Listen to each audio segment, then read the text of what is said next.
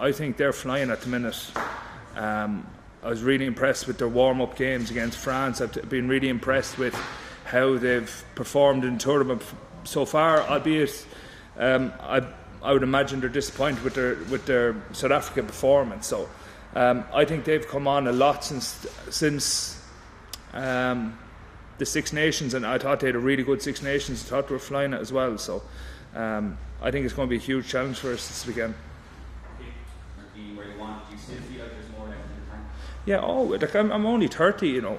Um, and I've been, you know, touch wood this pre season have been, you know, on a, you know, in, in, terms of like train load and all the GPS crack and all that, we've always been building up through. We never had a setback in terms of niggles or anything like that. So, you know, the body's feeling really good at the minute.